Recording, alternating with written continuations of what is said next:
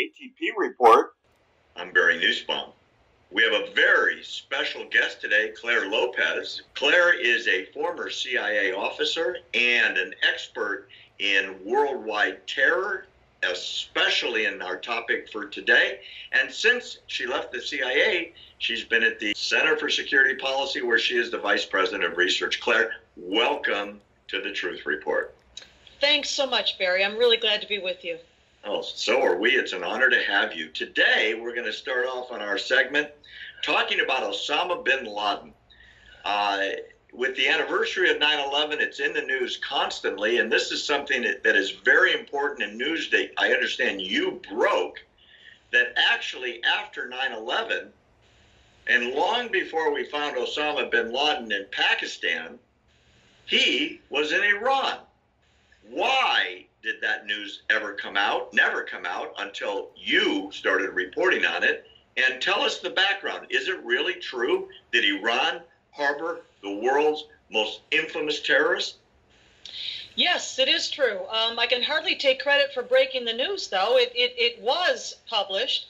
Um, one of the, the ways that I learned about it myself um, is when I was working as an expert witness in the Havlish case. The Havlish case is a legal case uh, brought by widows and survivors, family members of uh, victims of 9 11, who came to a, uh, a legal firm, the Thomas Mellon law firm in Pennsylvania after 9 11, to ask them to get to the bottom of what happened to their loved ones.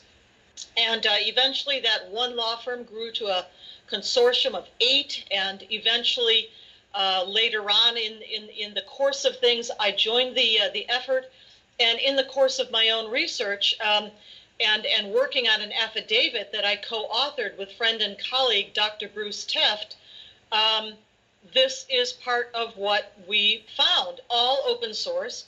Um, and um, part of, of, of, where that came from uh, is a post 9 11 uh, interview um, done with one of the Taliban warlords by the name of Gulbuddin Hekmatyar. Gulbuddin Hekmatyar uh, formerly was one of those warlords that uh, the CIA was working with when uh, we were supporting the Mujahideen in Afghanistan during the 1980s war against the Red Army, the Soviet Union. Uh, but after uh, the end of the Afghanistan war, now we're in the 1990s, and the warlords, as we will call, went to fighting, um, and and uh, eventually the Taliban uh, took over Kabul in 1996. That was the lead up to 9 11.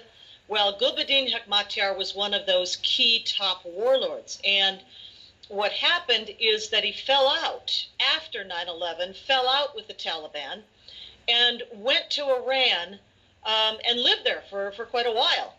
Um, but uh, I, am sorry, in the lead up, in the lead up to 9/11, I should say, uh, he fell out with the Taliban and went to uh, Iran to live for a while in the years leading up to 9 11. But that gave him a position inside of Iran um, where he was uh, collaborating with and, and uh, working with the Iranian Islamic Revolutionary Guard Corps, the Quds Force, and their intelligence service, the MOIS, Ministry of Intelligence and Security. And what that allowed him to do, according to this media news interview that I found working on the Havlish case, is to set up one of the bolt holes, if you will, one of the escape routes uh, out of Afghanistan because they knew that once the attacks of 9 11 were, were launched against the United States, uh, that we would come into Afghanistan and go after Al Qaeda and the Taliban. They knew that ahead of time and they prepared the escape routes ahead of time. Well, uh, some of the escape routes led to the mountainous region between Afghanistan and Pakistan. Uh, another was in Quetta and other cities of Pakistan. Uh, but one of the major escape routes was Iran, and Gulbuddin Hekmatyar helped set that up uh, pre 9 11 because they knew it was going to happen. And so um, after, after the uh, battles of Tora Bora, and uh, Al Qaeda is ousted from uh, Afghanistan. The Taliban uh, are defeated uh, by our, our forces and coalition forces. Um, Osama bin Laden, family members, fighters fled to Iran. That was prearranged. It was it was set up ahead of time. and he stayed there for uh, something like um, about nine years, late 2001 uh, until sometime during 2010, and that's when he finally moved uh, to to Pakistan. Now, yes, um, the the arrangement by which he remained in Iran um, was not just between Al Qaeda and Iran. That that alliance, of course, goes way back to to 1990, the early 1990s. But the arrangement of his safe haven there also involved the government of Saudi Arabia, the George W. Bush administration here in the United States, and of course Iran and Al Qaeda. So well, we'll talk about that a little bit because that to me is startling news. What you just said, I think, Clare, is the George Bush administration knew or should have known that Osama was in Iran with the support of Saudi Arabia. Did you yes, just? Yes, I mean, all, all, all, of our presidents since 9 11 um, know this information. I mean, President Obama knew it. One has to believe and expect that President Trump also knows that this happened. Um, and I, you know, I can't say why President Bush agreed to it. Maybe he thought that Al Qaeda would be bottled up there, contained somehow, um, you know, not permitted to operate. Of course, that's not what happened at all. They did operate out of Iran. Multiple plots were launched post 9 11 from there. But maybe that's what they thought. So, before I ask you the, the most pressing question, um, I, I, I have a preliminary one, which is why is this not common knowledge? Why has this not been in the press? I'm just shocked. Well, I mean, for the same reason that the involvement of uh, Iran and Hezbollah in its alliance with uh, Al Qaeda uh, has never been in the media, despite the Havlish case. By the way, website for that, Iran911case.com.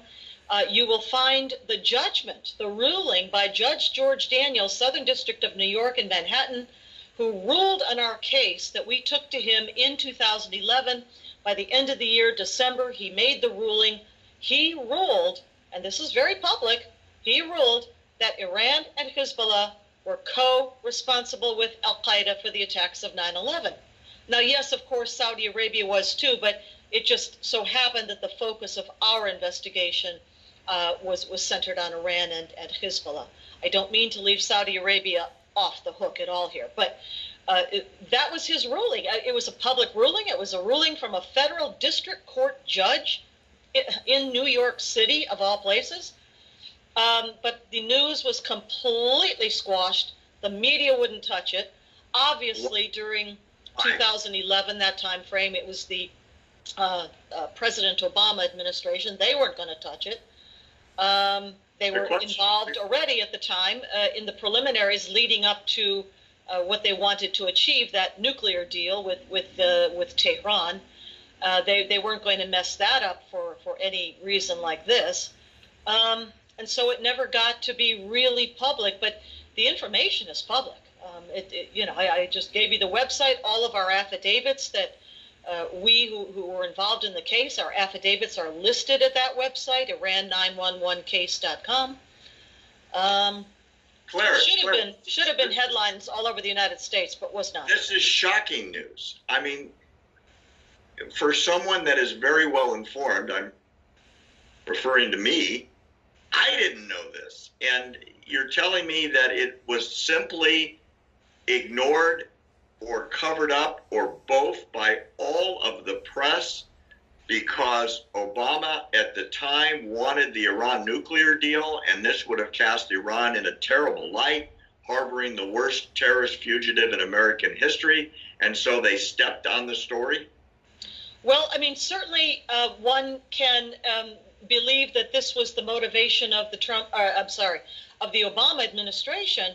I can't speak for all the media but simply to say that if, if you go now, uh, you know, and, and do a, a, Google search or whatever search engine uh, on, on these, these data points that I've just given you, you will find, um, you know, public uh, writing, um, uh, media attention to the judge's ruling, for example. But it's just few and far between the articles, the coverage. Uh, nothing ever made the major network news or the cable news networks. Um, they simply did not want this to be public. Shocking news. Clare, thanks for that insight. And thank you for joining us on the Truth Report. Remember, findbarry.com takes you to our website where you can sign up so you never miss anything. And text truth to 88202. You'll get all of our mailers and our information right on your cell phone. Thanks for joining us on the ATP Report. I'm Barry Nussbaum.